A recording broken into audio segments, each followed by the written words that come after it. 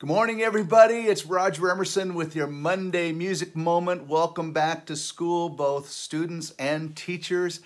I'm really excited today. As most of you know, I'm always excited, but even more excited because I'm starting on a new series called Everything You Wanted to Know About Arranging, Composing, and Publishing, but We're Afraid to Ask.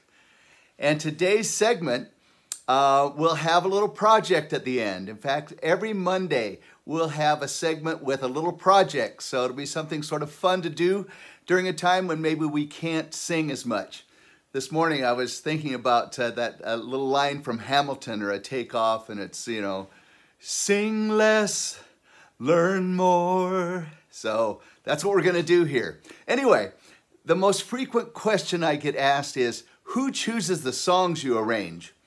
And so I'm going to tell you all about that. Um, usually, for the most part, it's my publisher, Hal Leonard. Great group of people there. And uh, for instance, I'll get a call from the choral manager, Jesse Weinberg, and he'll say, um, hey, we have the, the rights to the new Frozen 2 hit song, uh, Into the Unknown. Would you like to arrange it? And of course, I went, of course, I'd love to do that. We talk about the voicings, SATB, SAB, two-part, etc. And I go to work, and I will lead you through that process later uh, in this semester. So uh, how it's actually done from start to finish. So I hope you'll enjoy that. The other thing is oftentimes I'll go ahead and hear something or see something that I really think would be great for schools, like uh, the Chicks doing the Star Spangled Banner the other night I thought was great, and uh, uh, DGLS doing stand up. If you haven't seen it, YouTube it. Uh, so I'm busy sort of working on those at the moment and pitching those to the publisher.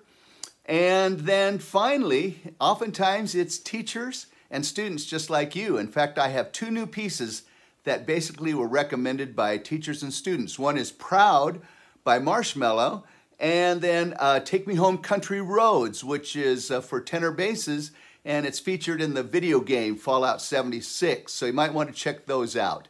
Um, so here's the best part, and here's the project. You're going to choose my next song to arrange. Okay, here are some parameters for you. Number one, um, you've got to do some research on the title of the song and the artist. You need to make sure that it's not already been arranged, so you're going to have to go to the Hal Leonard website and see if there's already an arrangement. Um, you have to make sure the lyrics are clean, okay? All right, and then um, you have to think about how it will set best. Will it be for SATB voices or SAB voices or three-part mixed or two-part? And then you're going to maybe work in groups if you've got a large choir and uh, come up with uh, some song titles and send them to my email here, sing678 at gmail.com.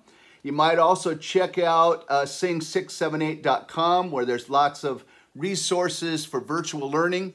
Um, and uh, also you get free posters if you sign up on the mailing list. So that's it for this week. We're going to keep it short and sweet. I'm going to look forward to those titles coming in. Uh, I'm going to give it a couple weeks. So spend some real time digging and uh, really ask yourself, oh, would this be great for choir or is it just better for a solo? So anyway, I hope you'll be well and I hope we'll use this semester or this year when we're singing less to learn more. Uh, we have a real opportunity here uh, to do some fun things. So until next Monday, I'll look forward to your song titles.